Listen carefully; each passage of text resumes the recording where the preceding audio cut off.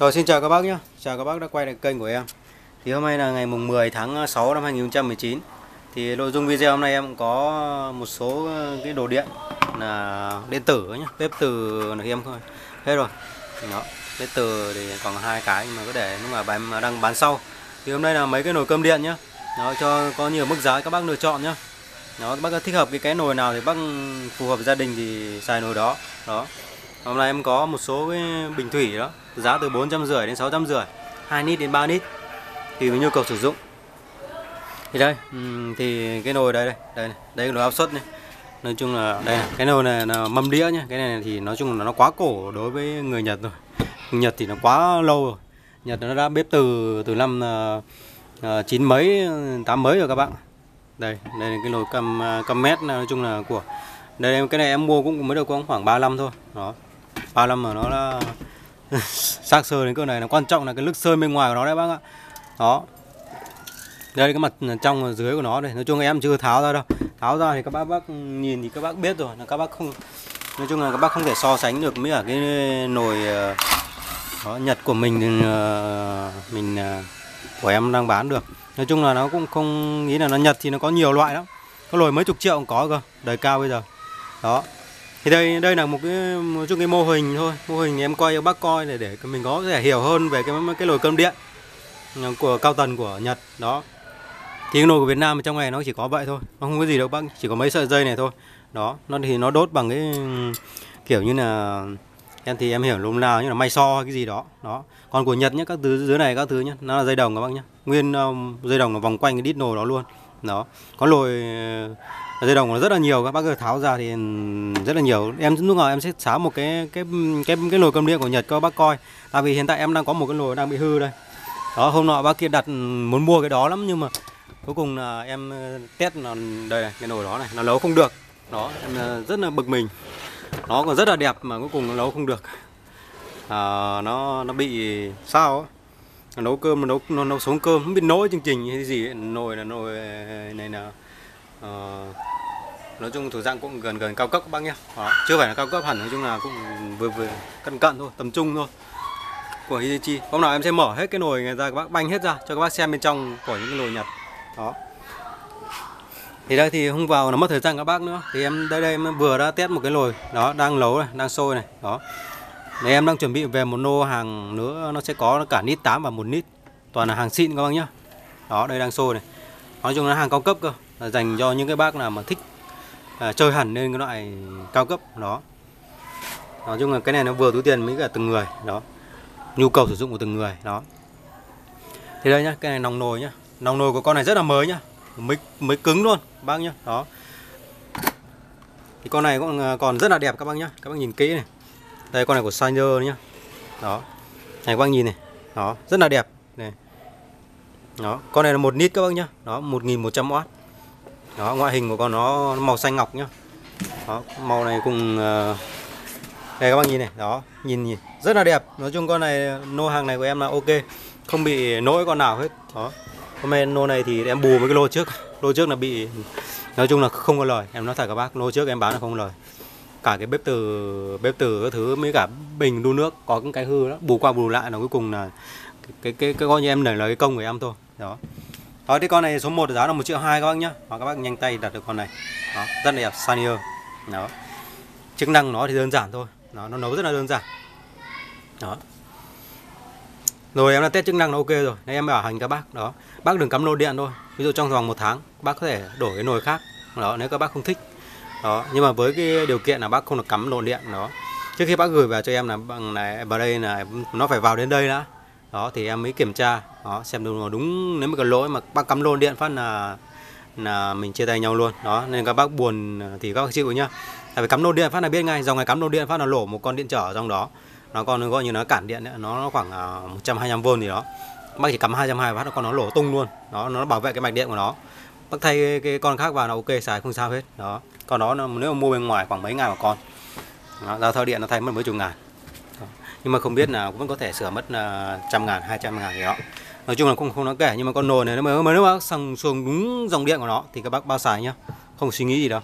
Đó thì con này giá là triệu hai nhá con số 1 thì đây con số 2 à con số đây con số 2 quên mất này nghỉ con số 2 con đó. À con này của Lati nhá. Đó. Lati là đó con này thì điện ờ, cũng là điện 100V đó thì em cũng không không cắm điện tại vì nó cắm nhiều quá. Em mới bắt từng tất cả từng ngày là nó khoảng mấy nghìn watt nên là cái cầu dao nó không đủ tải. Đó em chỉ cắm test một con thôi. Nhưng mà em sẽ test chưa là ok chức năng cho các bác. Đó nhưng các bác không phải suy nghĩ vấn đề nó bảo hành cho các bác rồi. Nó bác nhìn này nó dưới cái nòng nồi của nó này, nó trắng như vậy nước này. Đó. Bác nhìn nào nước nó không hề động được trên ờ, trên cái mặt son. Thì các biết là cái chất men nó còn rất là tốt. Đó. Men nó không giống cái men giống cái nồi kia đâu cái nồi kia bác chỉ mới được lúc ban đầu thôi chứ còn uh, bác xài một thời gian ngắn thôi. Không được lâu ý là nói là ngắn thôi. Nó nó đã chóc ngay rồi. Nó chóc trắng ở trong rồi. Còn cái này của nó bác xài biết như cái nồi này tụi nó thường thường rất là lâu lâu lâu lâu năm rồi. Bèo nhất nó cũng phải là 15 đổ lên rồi. Nhưng mà nó vẫn giữ được như vậy là các bác biết là nó phải chất lượng thì nó mới giữ được như vậy. Cái con số 2 900 các bác nhá. Đó. đó cái này bác xài gia đình ít 4 người 5 người ăn thì ăn vô tư. Đó 1100W đó nó đạt tiêu chuẩn của Z này natiolan con này 2004 bác nhá. Đó 2004 đến đến giờ là khoảng 15 năm. Đó. Đó 15 năm mà cái lồ nó còn như vậy. Đó. thì cái này là con số 3 con này là Pala. Đó. Con này cũng rất là đẹp. Đó. đây, có một nốt chảy một tí, một xíu thôi. Đó. Không đáng kể. Đó. Bên sau của nó. Công suất con này 1200 lớn hơn con kia con này model 2013 nhá. Nói chung là đời cũng cao rồi. đó. Giá con này triệu hai các bác nhá. Đây. đó bên trong của nó các bác nhá. Đó. nói chung là rất là đẹp. Nô này thì ok.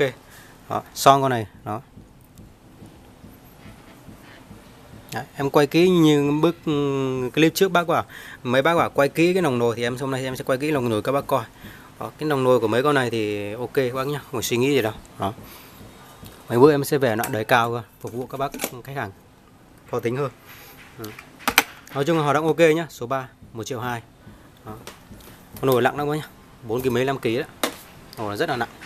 Thì con này giá là 1 triệu các bác nhá con này của Pala.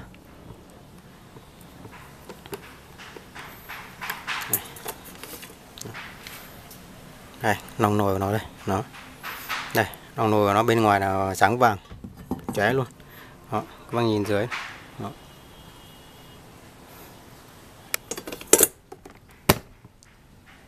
con này giá một triệu các bác nhá. Đó. Số 4 rồi đến con số 5 Juicy. Đây là hãng của Juicy đây. Rồi. nồi con này còn suy, suy nghĩ nhá. Đó. Chung mấy con này nồng nồi đợt này rất là đẹp các bác nhá. Đó cả trong cả ngoài luôn rất là đẹp. Đó bên trong vậy rất là ok. Không có gì phải bàn cãi cả. Đó, chức năng hoạt động đầy đủ đó vậy thôi. Đó con này đang nấu sôi đó, ờ, cái con này thường thường người bọn nó nó có bác chỉ nhấn cái ờ, nút này nguồn thôi nhấn nút này thôi là chạy thôi nó dễ rồi con số 5 giá 900 các bác nhá. Thì đang con số 6 giá là 1 triệu.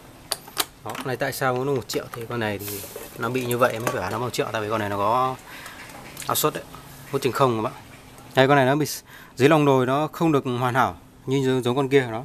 Có mấy cái đốm đốm đốm đốm đốm không đáng kể bác nhá các bác nhìn nước này.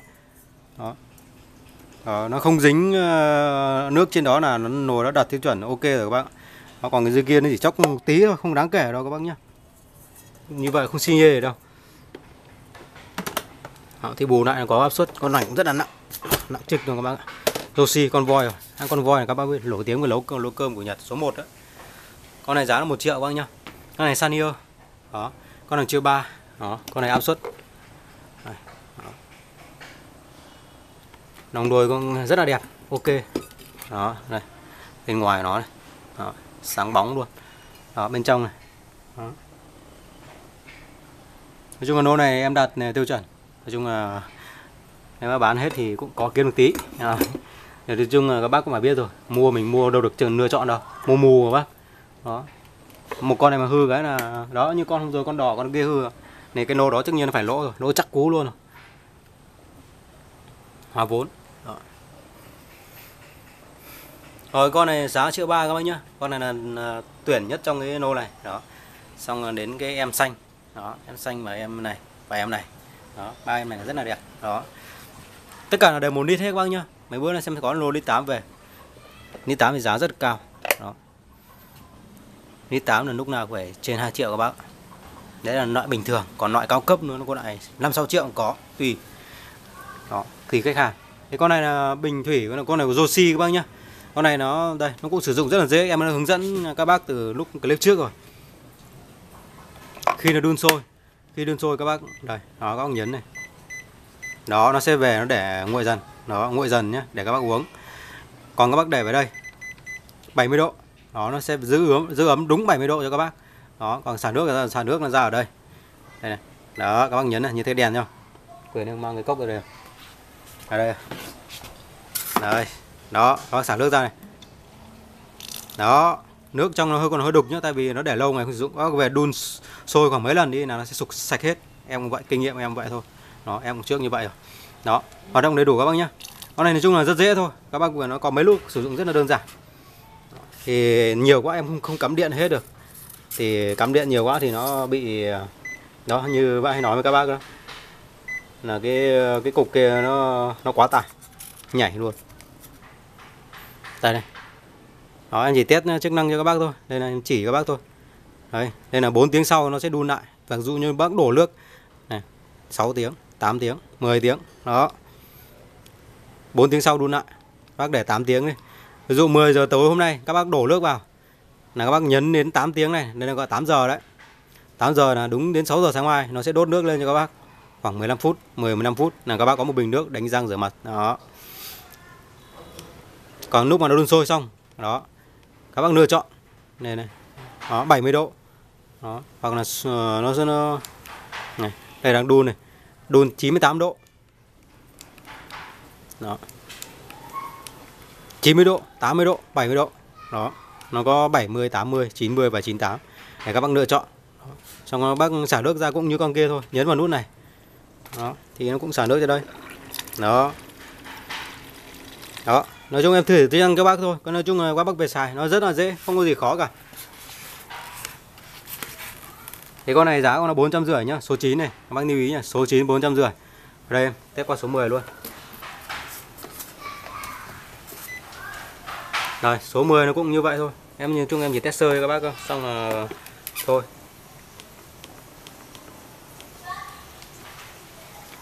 Đây đó xả nước này. Đó đấy, xả nước nó chưa này, đang đun này. Đó, đây là đâu chọn, đó, chọn đến 98 độ. Đây này, chọn đến 98 độ.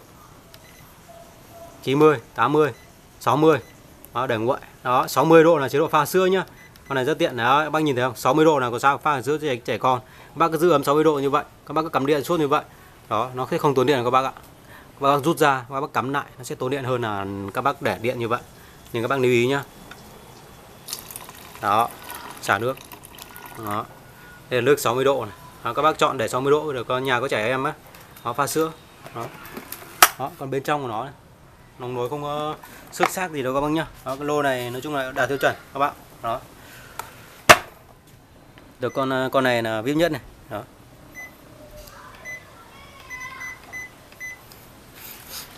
Rồi tiếp theo thì sang con số 11 số 1 là của oxy Sai con này thì nó dễ con này nó có nút khóa nhá. Khóa lắp mở này. Đấy. Đun sôi rồi.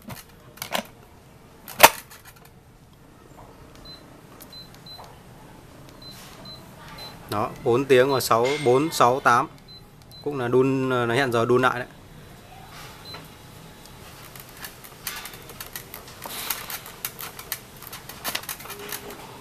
À, nút này là khóa của cái nút xả nước các bác nhé đấy xả nước ra này. đó. Xả nước bác nhấn nút này. Đó xả nước. Nút ờ, đun nước là nút nút này nha bác nhá. Còn nút này nút là xả nước này. Đó. Đó còn nút này khóa trẻ em tránh trẻ em xả nước nóng ra. Đó. Ok. Ở đây con số 12 à, số 12 con này thì à, nó sản xuất tại Chila đó. Đang nhìn kỹ này. Made in Chila Chila xuất Nhật. Nói chung cũng rất là đẹp. Con này son inox nhá. Đó, con này rất là đặc biệt son inox. Hỏi lo gì Z Con này thì đơn giản thôi Nó là đun siêu tốc. Đó.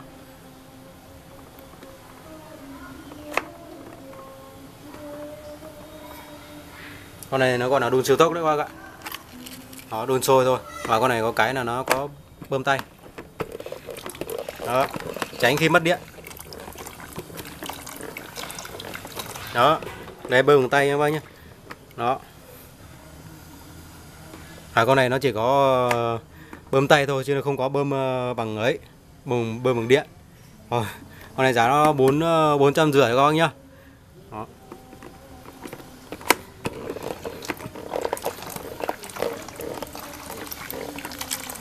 bốn trăm rưỡi. À, tiếp theo con số 13 à, con này của Joshi. Nói chung con này cũng sản xuất tại Trung Quốc Sơn Nhật công suất của con này nó tầm 900 mấy chục watt 3 lít các bác nhé dung tích 3 lít. Con 400 rưỡi thì thường thường dung tích ờ, nó chỉ 4 ờ, rưỡi 2 lít thôi. Đó. con này thì chức năng nó cũng giống như mấy con kia thôi chả có gì khác biệt cả. Đó. Đây. Đây chọn ờ, đun đây.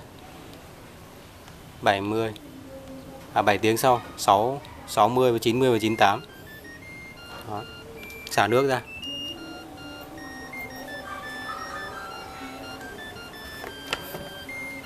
Ồ con này nó không có nước bên trong ạ.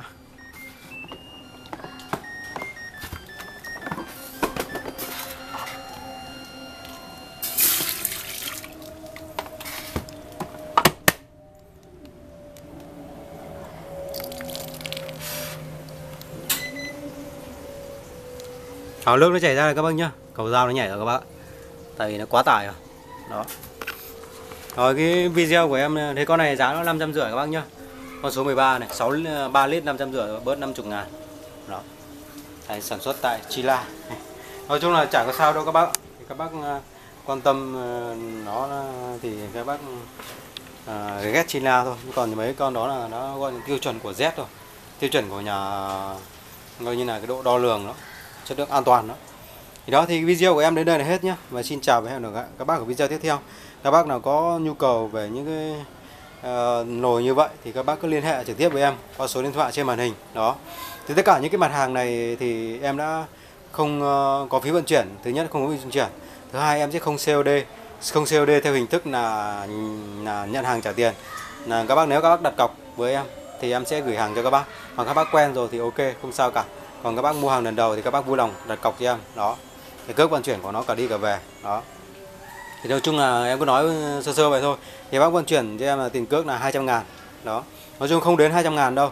Nhưng mà ý em đặt cọc các bác 200 ngàn để cho các bác có có, để cho các bác có trách nhiệm hơn với cái đơn hàng mình đã đã đã gửi, mà đã gửi mua. Đó, tại vì cái này đơn hàng nó, em đã đóng hàng đi rất cẩn thận rồi đó, các bác nhìn này. Đó. Nhưng mà em cũng không không muốn nó bị ra ngoài đó mà các bác có lý do này và lý do kia, làm chậm đến đậm đơn hàng của em. Mà thứ hai là em đã không thu được tiền, đó mà thứ hai là các bác bom đơn hàng đó là em sẽ chết luôn, đó. Thì em chết thì không phải chết tiền vận chuyển, mà em sợ chiếc nồi đó, chiếc nồi đó ra ngoài đó mà các bác không nhận, nó vận chuyển ngược ra lại đây một lần nữa, đó, nó sẽ không an toàn như lúc em đóng ban đầu nữa, đó, nó sẽ bị sọc sạch đi. Em vào đây em sợ cái đơn hàng của em nó bị hư hỏng, nên em sẽ không ờ, không bao giờ ờ, làm như vậy, em muốn chắc ăn, đó. Nhưng các bác thông cảm nhé các bác ờ, thấy ok thì các bác cứ liên hệ với em. Đó, các bác nào mua quen rồi, theo hình thức chuyển khoản rồi thì ờ, đó, thì các bác cứ alo với em. Đó. Còn các bác muốn mua, các bác muốn ờ, không tin tưởng em, các bác đặt cọc hai em 200 ngàn, em sẽ gửi hàng cho các bác. Đó. Đây, đó, hàng của em là như vậy, nút ra thì nghiêm chỉnh như vậy. Bác nhé không bóp méo nhá. Đó. Còn ra của nó bảo móc bẹp rồi thì cái đó thì không có đâu nhá mà tại vì em nó đóng hàng rất cẩn thận những cái đồ này rồi. Đó. Trong vận chuyển trong vòng một tuần thì không di nghê gì lần thứ hai vào nó sẽ nguy hiểm hơn tại vì nó hàng hoàn rồi. Hàng hoàn là nó đi nguy hiểm. Em đã để ý rồi, những cái máy khoan đi ra ngoài đó các bác ok không sao, nhưng mà riêng mình đi chiều vào là rách thùng là thế này thế kia là ồ mệt lắm. Đó, nên các bác thông cảm nhá. Đó, cái video của em đến đây là hết và xin chào và hẹn gặp lại các bác ở video tiếp theo. Đó, các bác xem kênh của em, nhớ like và đăng ký, ủng hộ kênh của em để cập nhật những video tiếp theo. Đó, mấy ngày tới nữa em sẽ có một nô nổi ly 8 rất là đẹp. Đó, để phục vụ các bác ở ngoài miền Bắc miền Bắc mình đã sử, sử dụng lồi lít 8 rất là nhiều còn miền Nam mình nó ít thôi ở miền Nam mình đa số một lít nhưng mà người Bắc là rất cần loại lít 8 tại vì người Bắc mình gia đình đông người đó. Rồi xin chào hẹn gặp lại các bác nhé